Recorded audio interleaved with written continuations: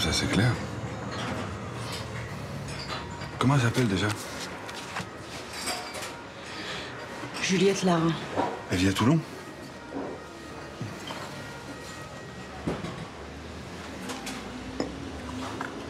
Déjà, toi, tu peux plus conduire cette instruction. T'es impliqué, tu te déportes tout de suite. Ça, c'est une chose. Ensuite, je pense qu'il faut en parler à Léo. C'est tellement plus simple, la vérité. Il n'y a rien de grave. Au contraire, il connaîtra sa mère. Où est le problème? Les deux filiations sont égales en dignité. C'est une question de dignité. Voilà pourquoi il faut lui en parler.